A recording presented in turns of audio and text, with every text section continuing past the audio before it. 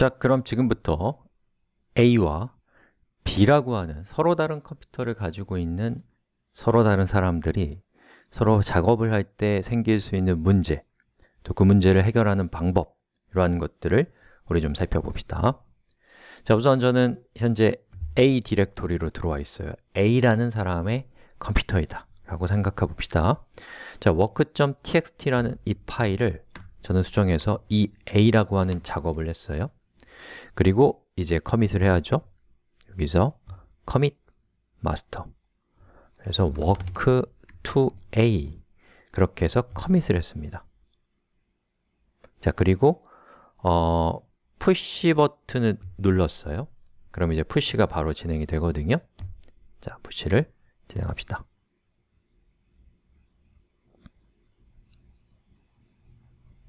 자, 됐고요 그 다음에 이제 B라는 사람의 컴퓨터로 이동합니다. 자, 지금 요거는 B라는 사람의 컴퓨터의 work.txt의 내용이에요.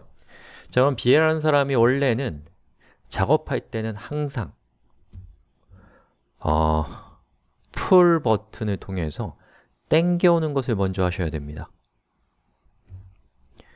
또는 뭐 땡겨오고 또 밀어넣고 하는 작업들이 모여있는 게 git 싱크라고 하는 저거거든요 저걸 이용하셔도 되고요. 같은 거예요. 자, 그래서 여기에 풀이라는 것을 눌렀어야 되는데 안 눌렀어요. 그럼 어떤 일이 생기는지를 보자고요.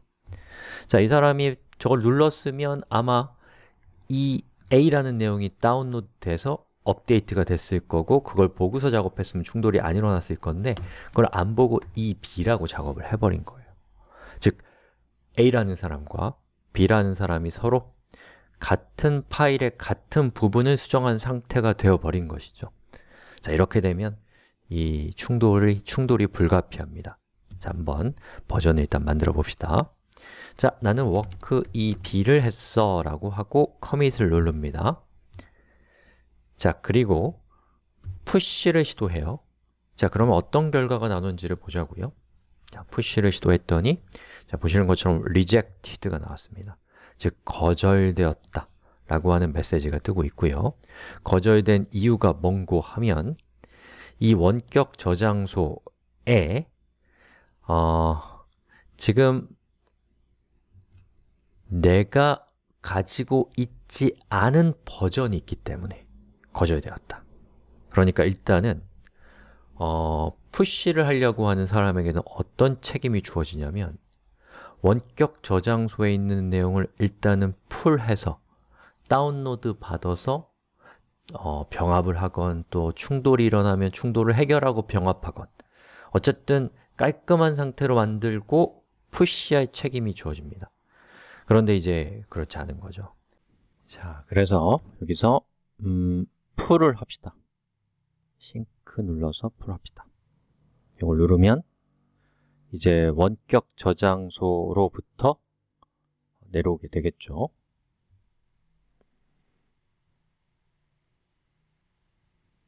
됐습니다. 자, 그리고 지금 경고창이 떴는데 컴플리트가 났습니다 라고 하는 경고예요.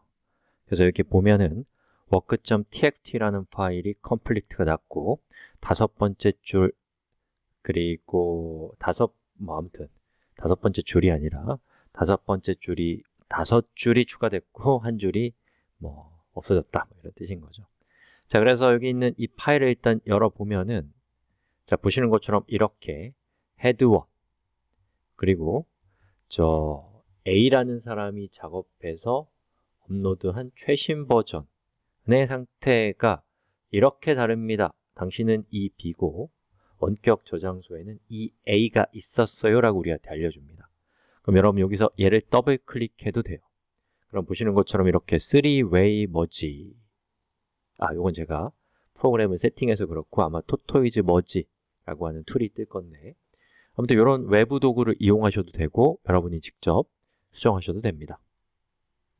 자, 저 같은 경우는 그냥 직접 수정할 거예요 자, 그래서 딱 보니까 이걸 이제 병합하면 되겠네 라는 생각이 들면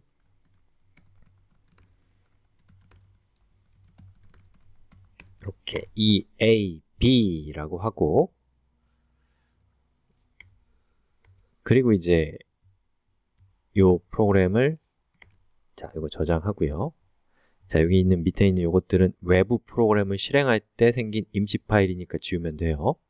자, 그 다음에 여기 있는 이 파일을 선택하고 오른쪽 클릭해서 토토이즈에서 resolve, 해결했다 라고 하는 저 메뉴를 선택합니다. 그리고 OK를 누르면 git에게 야, 이거나 해결했어 라고 알려준 거예요. 자, 그럼 이 상태에서 git commit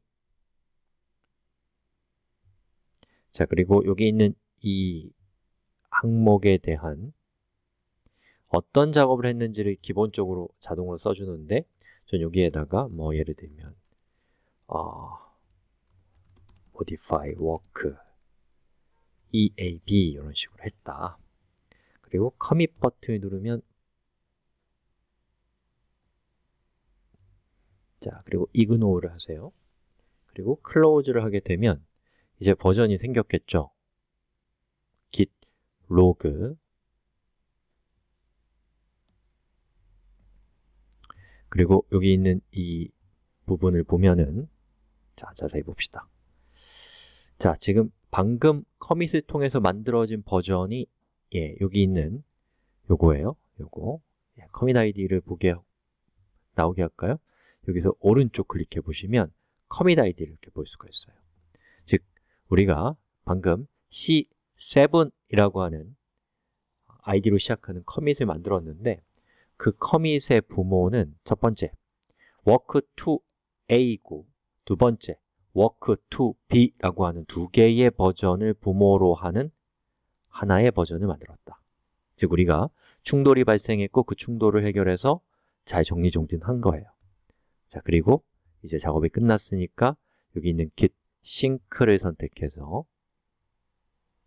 이렇게 보면은 아직 우리가 원격 저장소로 업로드하지 않은 commit들만 이렇게 일목요연하게 보여줘요. 자, 그래서 여기서 push 버튼을 누르면 우리가 작업한 내용들이 이제서야 원격 저장소로 업로드 되게 되는 것입니다.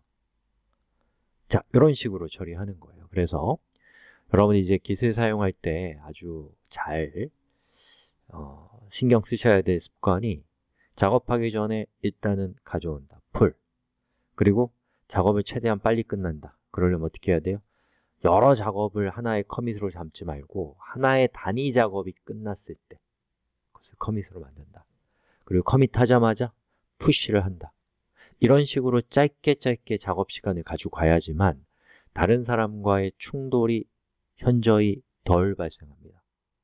예, 바로 이런 이유 때문에 이 충돌에 대한 공포로 인해서 Git은 이 같은 팀원들끼리 정보 공유를 더욱더 활발하게 하는 촉진제 역할이 돼요 아시겠죠? 자, 여기서 멈추려고 했더니 마지막으로 우리 그러면 이제 B라는 사용자가 푸시를 했으니까 A라는 사용자는 이제 지금 A로 들어왔어요 자, A라는 사용자는 작업하기 전 어떻게 해야 좋은 습관이라? 자, 여기서 git pull을 통해서 원격 저장소를 원격 저장소의 master branch를 현재 branch로 pull한다. 라고 하는 이 버튼을 클릭하시면 되겠습니다. 자, 그럼 정말 잘 똑같이 됐는지 한번 봐야죠.